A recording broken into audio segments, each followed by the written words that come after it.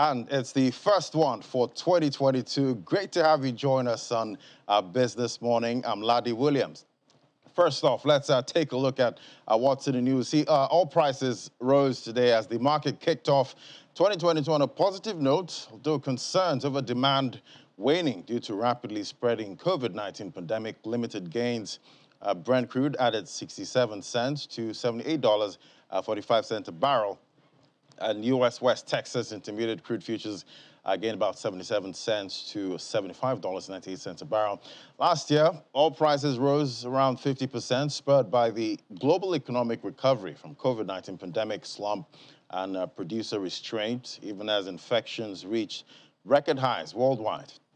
Oil analysts have lowered their price forecast for uh, 2022 as the Omicron coronavirus variant poses headwinds to recovering fuel demand and risk a supply glut as producers pump more oil, as shown by Reuters uh, poll. And a recent report from the World Bank shows Nigeria may have one of the highest inflation rates globally in 2022, with increasing prices diminishing uh, the welfare of Nigerian households. According to the World Bank, it is uh, November edition of the Nigeria Development Update, Nigeria is projected to have one of the highest inflation rates globally and the seventh highest among uh, sub-Saharan African countries in 2022.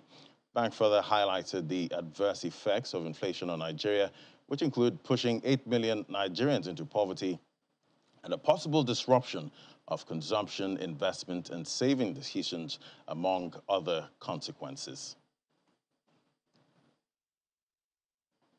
And after the break, as we say goodbye to 2021, we take stock of uh, what's happened in the economy and uh, the outlook for 2022. That's our first conversation in a moment. Do stay with us. Welcome back. Well, as we say goodbye to 2021, quite an interesting year that shook major economies of the world from health and, uh, to economic risk. Uh, now we take a look at uh, prospects for 2022 uh, with Mr. Bismarck Rewane, CEO, Financial Derivatives Company. Great to have you on the program on the first day, 2022. Yeah. Happy New Year. Happy New Year. Sir. To all the viewers out there. Yeah. So, you know, 2021 is over, and yeah. you described it as the year full of ups, downs, downs uh, bumps along the road. Yeah. How bumpy was it? It was a tough year. uh, we started the year with hope that this would be the end of the, uh, what do you call it, the COVID-19 pandemic. We thought by this time of the year, by this time next year, we will be honky-donkey. But no. What happened was that there were some good things that happened. And uh, in all, there are about 16 good things. And I, I just rolled them out. The GDP per capita grew by 4% in the third quarter. Base effects, it wasn't that the economy did great. Uh, total factor productivity, which is an important variable, for the first time in many years, was positive. Inflation, official inflation, was down from 18.7 to 15.4. Budget expenditure was up by 20%. Um, we're set to commission the largest fertilizer plant in Africa. Uh, we also saw corporate profits up by over 30%. And stock market capitalization was up by about 3.61%.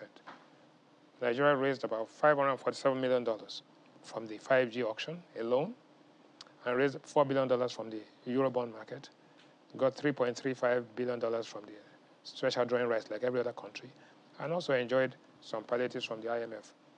Airline passengers were up by about 17% based on the previous year, which was a low year. But the thing is that there was strong data and perplexed people. Perplexed, perplexed means baffled, totally puzzled. Why is this happening? Why am I reading or hearing of all these things, but I don't feel it? Now, so one, income per capita declined. Two, the naira lost about 55% of its value in the, over the last three years. There were two recessions in the last five years. Life expectancy in Nigeria was is 55 years, the fourth lowest in the world. Unemployment rate at 33%, and 93 million people in poverty. Road accidents up by 4.57% to 5,110 and diaspora remittances dropped. That was the key thing. Now, the major issue facing most Nigerians are why are you saying that inflation, official inflation is declining? 15.4% actually set to go down to about 14.9. Directionally, we called it right, but in nominal terms, no. But when we carried out our own synthetic basket analysis, we saw those prices actually increased by 88% between last year and year. And you take, take a look at all of it. Take, for example, cooking gas. 3,600 last December. This December, it's up to 8,200. Even it had got to 10,500. Take a flight ticket from Lagos to Abuja. It used to be 36,000 round. Now it's 73,000. Uh, diesel was 195 last year. Now it's 350. Flour was 13,500. So you go on and on, all the way to table water. So you got 88%. So the problem is that what does the official data say? And does it reflect the reality, how you feel it in the market? Right. That's a big problem. Mm-hmm. Okay. Because we see that uh, there seems to be some, you know, disparity when you look at the uh, synthetic basket. Know, basket and you know the national basket. National basket. There's uh, some kind of uh, a disparity there. What do you think uh, causes? No, the point is that we, we, we last reconstituted our basket in Nigeria about 2009. It's due for another review, right? So um, that's work in progress right now, and NBS is working on that. But as long as that is good, but also uh, data integrity has become an issue in Nigeria. Do you believe what you hear or do you believe what you see and how you don't feel it? So there must be empirical evidence and anecdotal evidence, which is when you go to the supermarket, are you paying more? Your salary is stretching you. You used to finish it maybe on the 30th. Now, by the 20th, they're already looking and scrambling around. So those are the key issues. And with wages remaining, you know, Stagnant. constant. As a matter of fact, so that becomes a problem as you go into this whole subsidy removal debate. Whilst it is good, the people are saying, look, we are stretched, and therefore the environment becomes very difficult. But you got to do what you have to do irrespective of the political environment. And we see the government is, you know, they've talked about uh, 5,000 naira stipend for, you know, the vulnerable yeah. in society. How, how's that going to help? Well, it's, it's a difficult situation. The point is that if you, when the price of fuel increases, there will be some inflationary impacts one way or the other. But the time you put money in the pockets of people without productivity gains, it will, it will, it will only make it worse. So it's something that I think the policymakers are debating on how best, one, to achieve price deregulation in petroleum and also achieve growth without encouraging smuggling and uh, all the uh, adverse effects of a distorted price level in right. petroleum. And you know, looking at you know putting monies in the in the po- in people's pockets, you know, there's another issue of uh, rising uh, money in circulation. Yes. You know, that's another problem, you know, that yeah, also, no. you know. The truth is that the good news about that is that money supply is about 42 trillion naira, while cash in circulation is 3 trillion naira.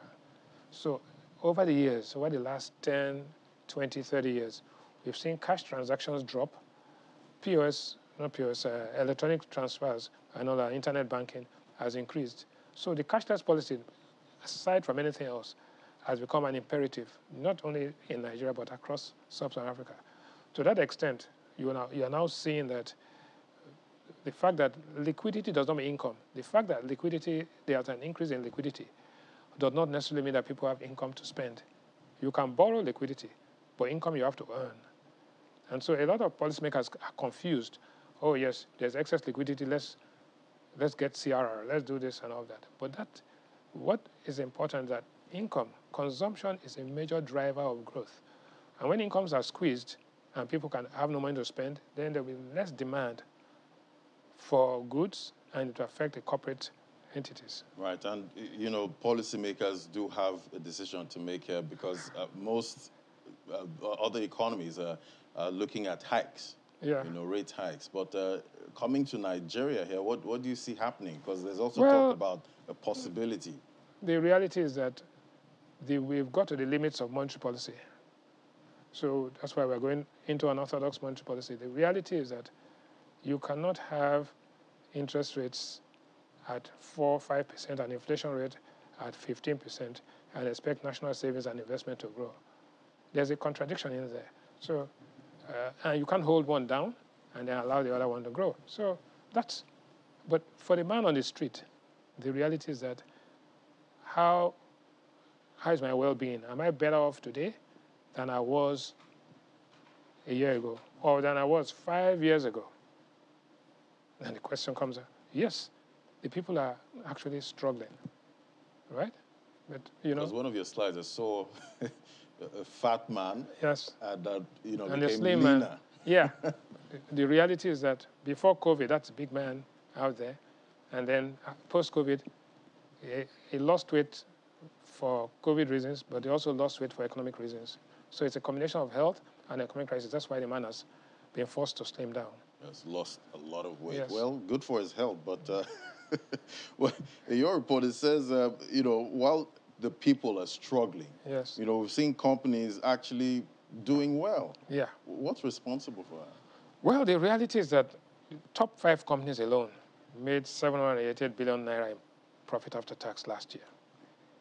But they paid 386 billion naira as tax. It's interesting that that happened, and they employed more than 250,000 people. The, the definition of profit is reward for risk taken. So those who took the risks, and we, we, we looked at five companies here. We looked at uh, Dangote, MTN, Airtel, BUA, and Nestle. And let's see what they did. They took the risks. And we are talking about Dangote Cement alone, not of the entire group, right? They grew, their revenues grew by 34%, and their profits grew by 33%. So if you take inflation of 15 and an exchange rate depreciation all put together, you'll find that the Dangote Cement Company has actually outperformed the two put together. You take MTN, MTN actually had 52% growth in profit compared to inflation of 15, sector growth of about 7%, and paid taxes of over 101 billion naira. Dangote Group Cement alone paid 127 billion naira of taxes. BUA paid taxes of 8 billion. Its profits grew. Its revenue grew by 19% and its profits grew by over 23%. Nestle and then you take Zenith Bank. So when you look at those companies, you'll find that they've, they've done extremely well, but for risk taking. And it's not a zero sum game. It's not because the big companies are doing well, the small companies are struggling.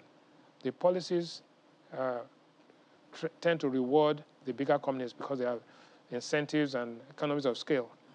But the, the big companies also use the services of small companies to buy raw materials, buy machinery, and all of that. So fertilizers are used for the anchor borrowers program, the petrochemicals. So a lot of these things are happening. There's, Uh, you want us to look at it in the context of what is going to happen. For example, if you take when the Dangote refinery is commissioned at the end of this year or early next year, okay. then will it solve all our problems? No. But it will go a long way because it's going to be exporting refined products across Central and West Africa.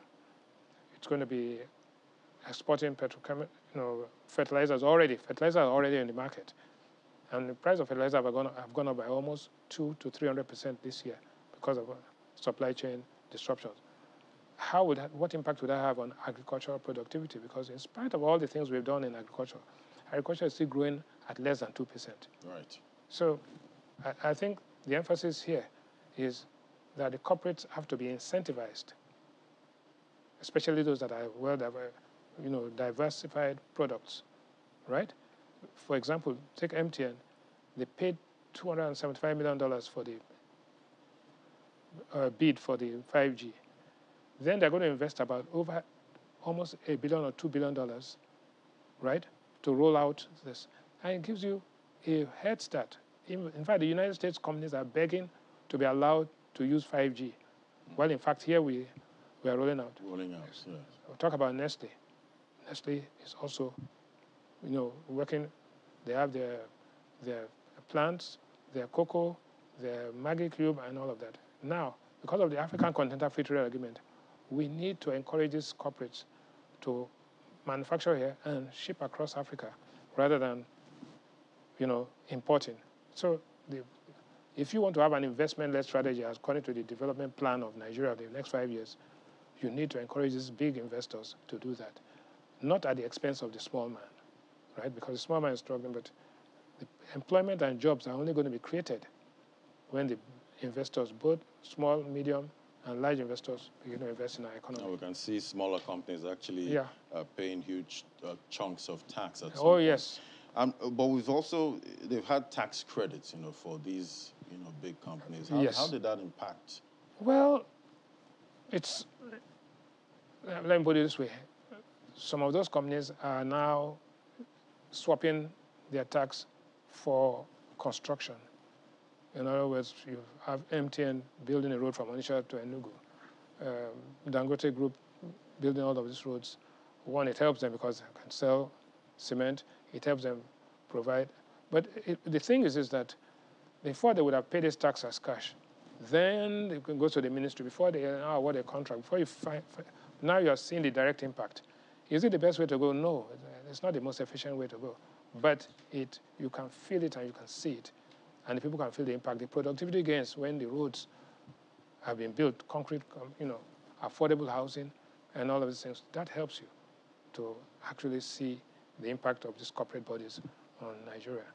And uh, going into 2022, do you see us having you know more of this, like when it comes to you know tax credit? Yeah, 2022 is a year of politics. Two halves. The first half is, you know, the next three months would just be about putting the policy framework and then kickstarting. But from February, March, once you have the conventions and primaries, nobody's going to be talking about this anymore. People are going to be talking about how are you going to run down the clock because this is the twilight, twilight days of this administration, and therefore, people are looking forward to what's going to happen next Right. and What- whether what's there be consistency. next? Yeah, I, I think that's important to, to, to bear in mind. But certain things that you must bear in mind. For example, we talk about traffic congestion in uh, as a productivity eh, inhibitor. Traffic congestion in if you lived in Lagos or you live in Lagos, you, you spend about 1,080 hours a year in traffic, traffic. compared to 148 in the city of London, which is the worst among the advanced economies. With an average lifespan of 55 years, it means you spend six or seven years of your life in traffic. That is alarming. That's so. Whilst Lagos is responsible for 20% of the GDP of Nigeria, while Lagos has all of these facilities, it's also a drain on the lives of people. Exactly. So I, I think that's a major issue to look Okay. at. All right, Mr. Rand, we'll, we'll continue this conversation after the break. There's still more Oh yes. we have to, you know, dive into. Anyway, uh, you're still watching uh, Business Morning. After the break, we'll continue the conversation with uh, Mr. Rewane. Do stay with us.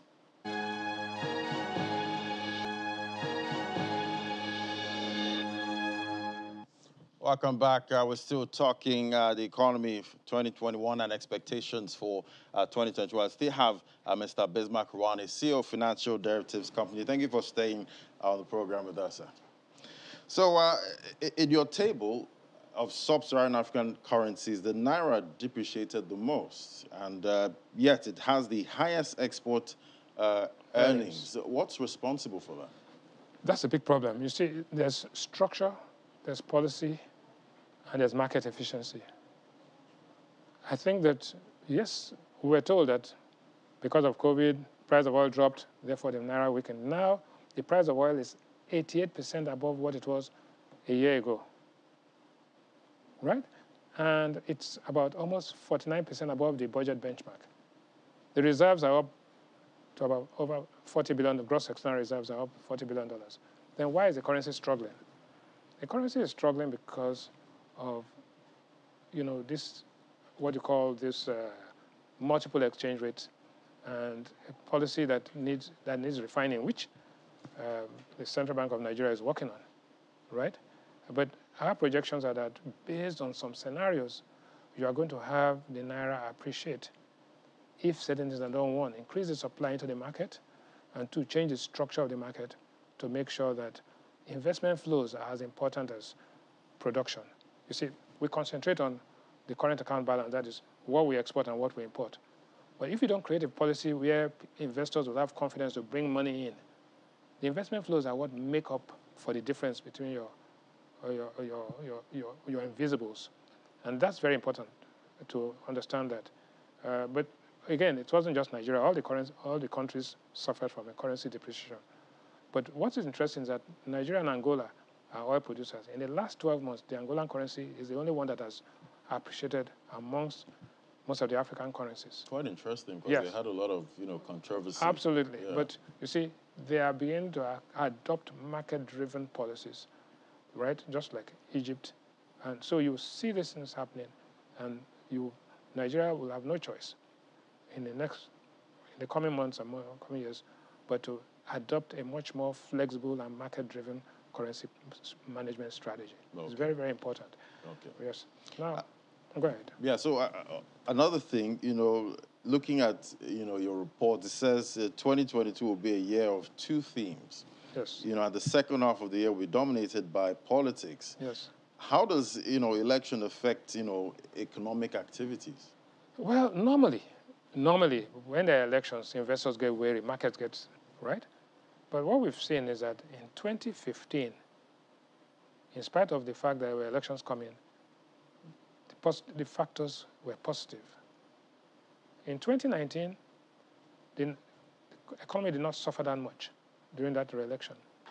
So we do not expect that the political activities will negatively impact economic outcomes this time. However, if there's, why do we say that? We say that because technology is now beginning to make it almost very difficult for you to rig elections.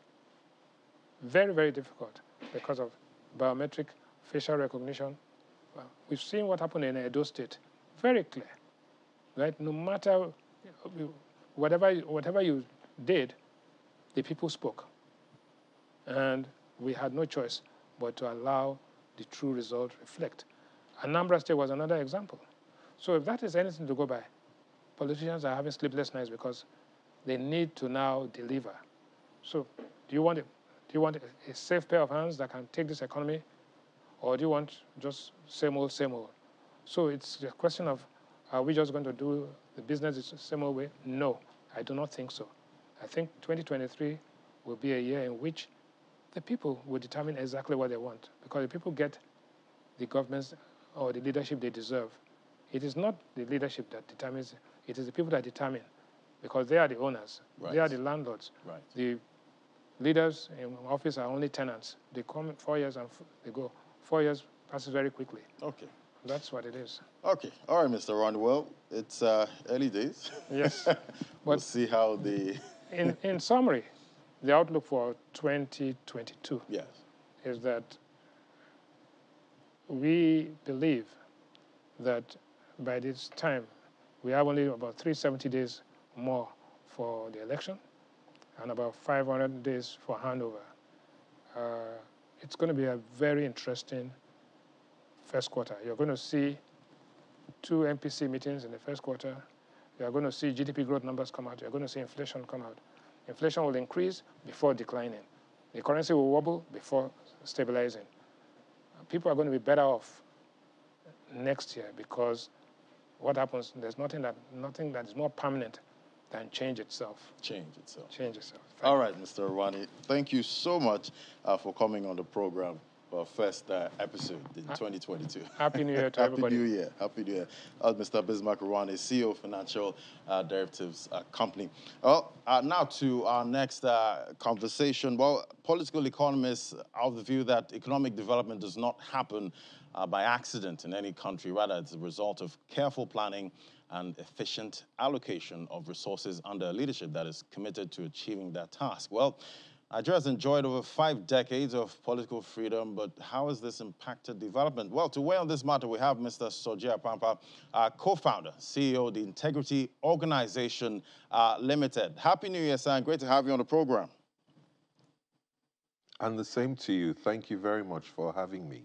Thank you. So, you know, 2021 was a challenging year for global economies, COVID-19, inflation, and other uh, headwinds. How would you describe performance of uh, leadership in the past year as regards economic performance?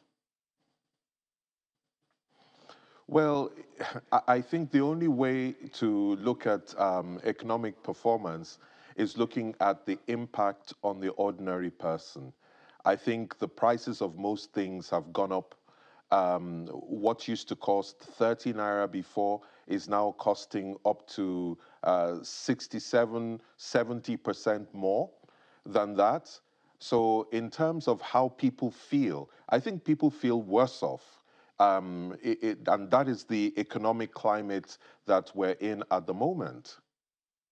Uh, Chinua Achebe, in one of his books, said the trouble with Nigeria is simply and squarely a failure of uh, leadership. Do, do you agree?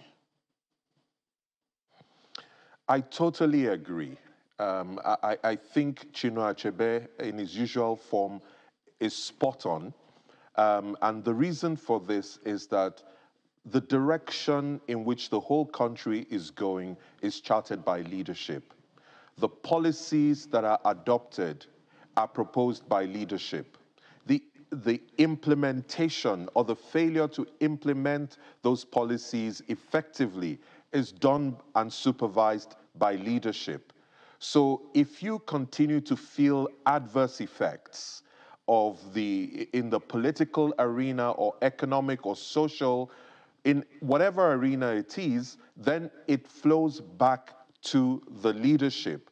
However, we shouldn't keep thinking of leadership only in terms of people who are elected to office. After all, we, we, we're all leaders uh, where we are, whether we're in, in the private sector or public sector, we're all leaders. So we should think of Chinua Achebe's statement much broader than just uh, political leadership. Because if you look at the behavior of people on the roads, um, the refusal to, to, to queue up, and so on, that is also a leadership choice at that material time. So um, I think the failure of leadership is what is showing through all strata of life in Nigeria at the moment. Right, but but but surely we we can't you know all be leaders. You know, uh, talking about you know public office. So what can we do to address you know this uh, trouble with uh, with Nigeria? It's true we can't all be leaders, uh, but th there's the saying, the simple definition of leadership is example. Example is leadership. So once you choose to behave a certain way and others follow you, you are a leader. So um, I think private citizens, um, uh, private companies, other than uh, those who are elected into office, also have a role in leadership. Take, for example, you, you, somebody pulls out of an orderly queue and beats the traffic light. You will find many other people who will follow. That is example, and it's more powerful. It's a very powerful form of leadership. So what we can do is to choose the, the behaviors that build integrity. For example, we, we need to say when things are not working even just simply speaking up that something isn't working and needs to be fixed. If enough of us speak up about it, that is a different form of leadership, but it's the kind of leadership that shows a demand for a policy or a change in policy that the policymakers will find very difficult to ignore. So we also, um, the lead in quotes, need to be able to demonstrate a level of leadership in order to deal with the trouble with Nigeria. All right, talking about, you know, private citizens and, you know, the private sector, you know, demonstrating leadership, but are we relying on just the few at the helm of affairs, you know, the public sector to actually change the narrative in Nigeria? Okay, uh, let me give you an example where, where this has actually worked. Um, in 2011, um, the UK Bribery Act was put into place. And the year after, uh, in 2012, after it came into force, the, in the maritime sector, most of the CEOs there came together and formed what is called the Maritime Anti-Corruption Network. And the first thing they did was to approach the government of Nigeria because that UK Bribery Act says failure to prevent bribery is an offense. So for the first time, it became an offense um, if you failed to prevent bribery. So they were afraid of what will happen if their vessels and their shipmasters came to Nigeria and bribed a public official in Nigeria, they will be liable back home. So they wrote to the presidency and asked the presidency to join with them to do something about the levels of corruption. To cut a long story short, the presidency at the time agreed, and they have been working together with the private sector leading uh, the, the, the charge uh, and improving the environment for um, vessel clearance in Nigeria. Uh, to the extent that Nigeria is seen somewhat as an example. And remember, I said example is leadership. Um, so Nigeria is now beginning to show some leadership because of the collective action between the private sector and the public sector. So yes, the public sector is still responsible for implementing some of these things, but the imagination, the vision of what is possible, and, and the, the, the paths and the options that could be taken, sometimes you need the private sector and uh, private citizens to actually show that example and show what could be uh, before you can get the public sector. So it's not the public sector alone, it's everyone together that are working collectively in order to make this work. All right, and you know, leadership shown by affected groups on key public service issues, you know, and addressed by dedicated public servants is, is quite admirable. But uh, how much impact can this achieve? Well, uh, if you permit me to just stay on the example of the maritime sector that I mentioned, um, in terms of achievement, what the ship masters did in 2019 was to complain about the demands for large cash payments from public officials. There were 266 uh, de such demands that were reported. But by 2020, and with the actions that the government took in partnership with the private sector, this fell to 128 complaints and by this, uh, and by 2021, there were only 51 uh, or so such reports. So you can see that year on year, the levels of, of demands for such large cash payments reduced drastically simply because the private sector took a level of leadership and the public sector itself responded with the kind of leadership that was required to keep these things under control. So there is a great impact that could come out of either private citizens with one voice or the private sector with one voice speaking about an issue. So those who are beneficiaries of services from government or, or, or um, anything provided by government should understand that it is their leadership responsibility to give feedback and to stay with it and to follow through until those things are, are repaired. So uh, at least this is the kind of impact that we have seen occur over the years in the maritime sector. Quite interesting, uh, you know, what's happening in that sector. But uh, do you envisage a situation in which, you know, Nigeria as a nation might begin to show leadership to, to the rest of the world, or is this too much of a stretch of, of the concept? Well, um, I'm, I'm happy to report that in this sequence of things that I've been uh, talking about, for example, in the maritime sector since 2012, um, it has gotten to a stage now that other countries have noticed.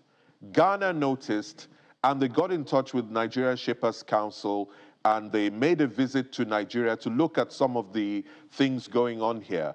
I'm also happy to note that Ukraine is understudying what Nigeria is doing, and they're also now trying to improve their maritime sector based on what Nigeria is doing. Egypt also started about mid-year last year, and India is starting this January. So if we stay with the idea that example is leadership, Nigeria is beginning to show a different kind of example than the one it was known for.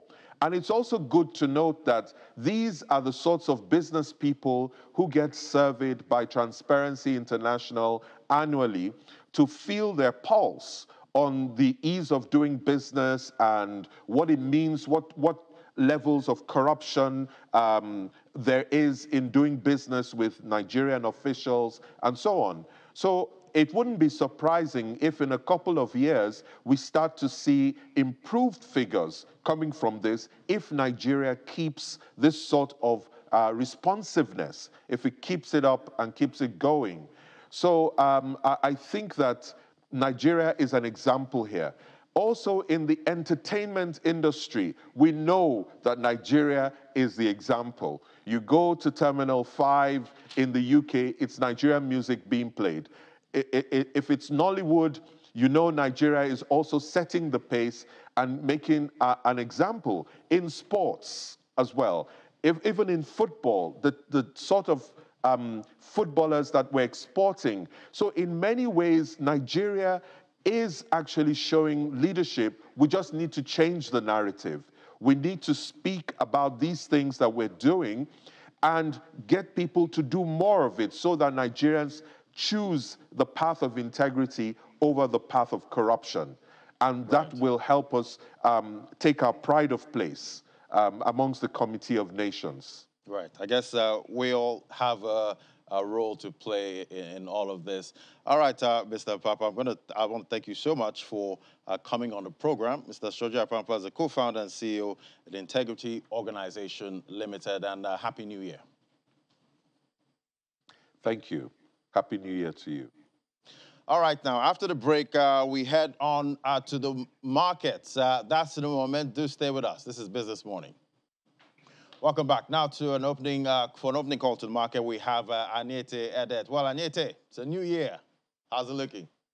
Yeah, Ladi, like you rightly said, it's a new year. I I, I missed the party. I missed uh, what uh, you people gathering all the the business uh, desk. Uh, well, I was just caught in traffic. Right. But right. I still wish you a happy new year. Yeah, happy new year. Yeah.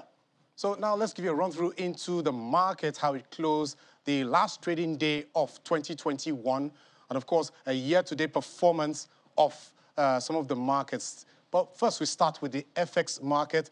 It was mostly negative there. The only positive that we had was on the futures uh, part of the FX market, trading at the FMDQ.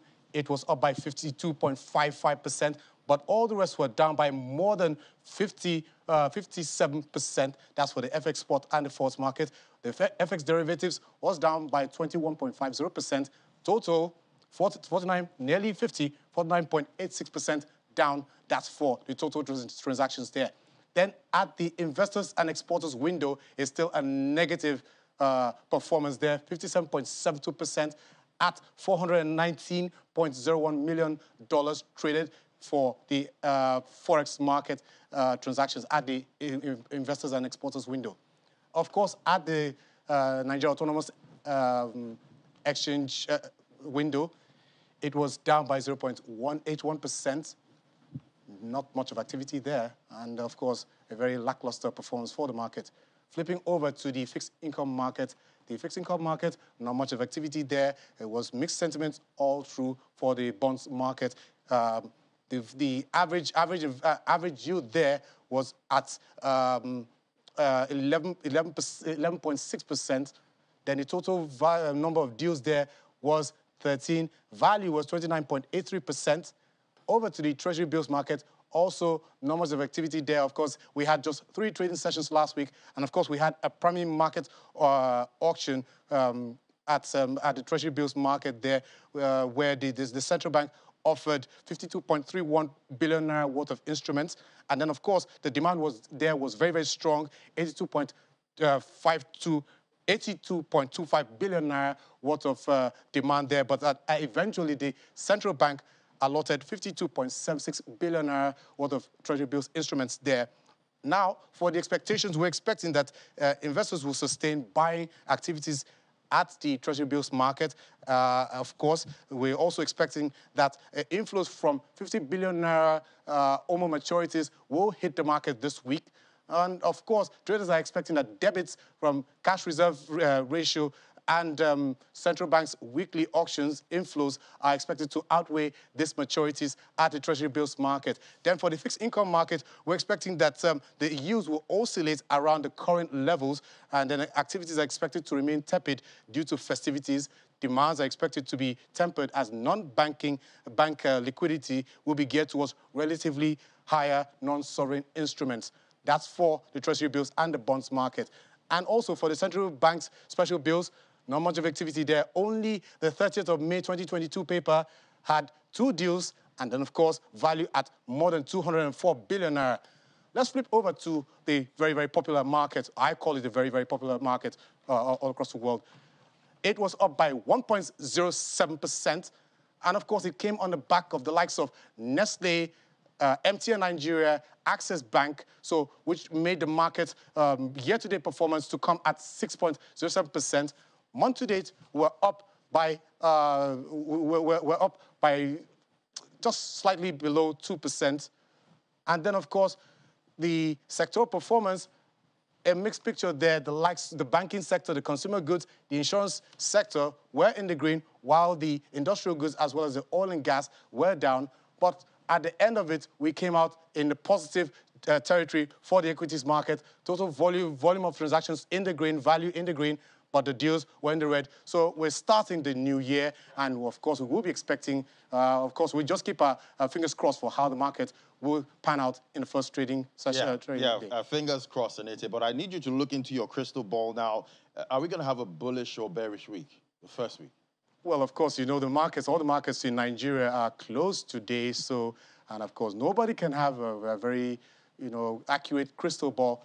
But I, but um, I, I, trust your crystal ball. No, I think I think optimism is always my watchword. Optimism. And is yes. All right. Yeah. All right, Nita. Thank you so much.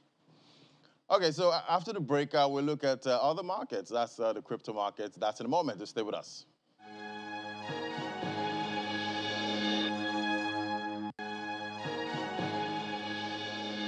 Welcome back. You're still watching Business Morning live on Channels Television. Now let's uh, look at the crypto market. We see Bitcoin struggling to recover above the 48,000 resistance against the US dollar see BTC could actually decline heavily if there's a clear break below 46,000. You see the market cap there, $2.24 trillion is up about 0.38%. Uh, 24-hour volume traded uh, in the total crypto market, $75.32 billion. And we see Bitcoin dominance there falling below the 40% uh, range. Where price of Bitcoin, 47,000, it's down 0.42%. Uh, we see Ethereum there also, uh, but Ethereum actually looking up up 1.62%, but with uh, little volume compared to what we normally have. It's just $10.21 uh, billion trading Ethereum. Top of the market cap there, we see it's uh, mostly red, just uh, Binance coin there, uh, up 0.48%. Anyway, let's uh, bring in Olumide Adesina now, uh, financial market analyst. Hello, Olumide. Hello, Ladi. Good morning. Good morning and happy new year. Same to you, yeah. Well, it's a new year in the crypto market. Uh, Lumide, what are you expecting? Yeah, um, right now we're seeing trading um, volumes quite low. You need to understand that um, key markets around the world still remain closed, particularly in Asia, that contribute to a large volume in the crypto market. So I think um, volume is picking up, and um, we need to know that uh, understand the narrative that investors are starting to be a bit conservative. You know, Omicron is disrupting the world's uh, second biggest economy. I'm talking of China. And the fact that we're seeing caseloads rising in Europe also is creating some form of fears. And that's why we're seeing the dollar going up. So across um, key assets that include crypto assets, we're seeing um, down draw, drawdowns, uh, sorry, uh, across board. But I think um, we need to understand that the background coming from the uh, crypto market in 2021 has been fairly exciting. Bitcoin has recorded uh, major gains. Um, more than more uh, mainstream assets. According to Goldman Sachs, Bitcoin was ranked number one behind crude oil, behind S&P and other stock indexes. That just gives you the credence that the crypto market is getting more exciting. But you see, uh, the coming um, the coming months seems to be facing um, strong headwinds in the crypto market. We're looking at the fact that regulations are coming in strong forces. Um, I'm waiting to see what the stablecoin framework will look like. I'm also looking at how NFT will be regulated. So, yes, despite the fact the market has grown so fast, I think the year 2022 will be a year of consolidation and where regulatory uh, framework will take place. All right. Uh, talking about NFTs, we see uh, Eminem, the Grammy Award winning rapper, has joined the Bored Ape Yacht Club, uh, purchasing one of the uh, non fungible token uh, apes for about 123.45 Ether. That's $462,000. Why is he buying yeah. this? For and why is it so expensive? Um, uh, to be fair with you, you need to understand that uh, uh, the NFT space has caught a lot of investors unaware. And you look at uh, assets you just mentioned, uh, the Bored Apes, for example, they are kind of the demand for it is so high, and because of their unique fundamentals among celebra- uh, celebrities like Snoop Dogg and just recently Eminem reports that Britney Spears also uh, uh, had some hold on that really triggered the price uh, the price appreciation of that asset. Also, we've seen that uh, similar NFTs like CryptoPunks, uh, with the likes of um, Visa buying um, into that, has also given us uh, price appreciation. So I think in peculiar reasons, why we are seeing so much price appreciation is the brands coming to it, the personality, and the fact that it has um, some form of um, investment um, uh, perspective among a lot of young people. The, the, the, cheapest Bored Apes you can get in the market right now is about $150,000. And this was something that was given uh, free to many users in 2017. So that just tells you how the market has changed over, over the year. 2021 was a year that we saw trading volumes of NFTs hitting more than $10 billion. That is more than, that is far more than uh, the revenues of Nigeria's top tier one uh, banks. So that just gives you the credence that um, NFTs are gaining um, uh, momentum. But I, I, feel users need to be very careful that you, they need to understand the risk behind it. NFTs are not so liquid, uh, so you need to be very choosy about what you buy into. And also, uh, you need to um, transact with people that have verified identity. That's one but, of the keys uh, of enjoying the NFT four, market. Four, 462 thousand dollars for a JPEG. Yeah. Does it expect yeah, exactly. to make a profit on this? Uh, uh, of course, I'm uh, I'm expecting price appreciation across that because uh, um, one, one, one NFT was sold for more than five million dollars, and you, you know Eminem being having such occultic personality, this is someone that has won more than 50 Grammys. You, you know number of users he, he has, you know. So I think uh, that will definitely push uh, price appreciation of that. He has already changed his um, Twitter handle to the uh, to the JPEG picture already. And okay. you see, the, the, thing we need to understand about uh, price appreciation in assets is that the personality and the demand is really what pushed this price up. So I won't be surprised if the price triple in a couple of uh, months. You know, I won't be okay. surprised at all. Uh, all right. So uh, another issue is uh, central bank you know, digital currencies, uh, looking at the e-Naira. What's your outlook, you know, for the e-Naira for 2022? Mm, the outlook for the naira for 2022, in simple terms, is um, I'm very bullish about it. You, you need to understand that, uh, you know, when uh, three months ago, when the CBN um, uh, started this, this uh, pilot program, a lot of people, a lot of critics uh, saw this as uh, a mirage. And you see, look at if you look at transaction volumes and the number of up, uh, downloads, we already see close to one million uh, uh, downloads already, and we've already seen high participation from foreign online merchants building on the CBN network. So I, am bullish about it. And already look at Nigerian banks, the likes of GT, Stanbic have already gotten um, high demand from the e-wallets um, uh, uploads. Also, uh, I think one of the major objectives of the CBN is coming to play. You need to understand that uh, financial inclusion remains the key parameter across uh, spectrum, and uh, recent statistics shows that uh, the e-Naira is getting very strong in the northern part of Nigeria, where we have um, relatively weak uh, financial infrastructure compared to Lagos. So the likes of Borno, Sokoto, Zamfara, Katsina, Kano are leading uh, the Bitcoin uh, inner interest uh, there. That's quite so interesting. I think it's the positivity around it is uh, it's is very. But you know, uh, the banks need, still need to educate people. The app still shows some buggy uh, fundament, uh, fundamental characteristics. So I feel that uh, work is still going to be done, but I think I'm bullish on it, and I think banks are exposed to it stand to gain a lot. Well, work still needs to be done. You know, it's, uh, it's actually new tech. All right, uh, Olumide, yeah. thank you so much uh, for coming as always. Yeah, thank you. All right, and uh, that's a wrap on the program. Don't forget to join us by 1.30 on Business Incorporated for more updates on developments in the world of business. Thank you so much for watching. I'm Ladi Williams. Bye for now.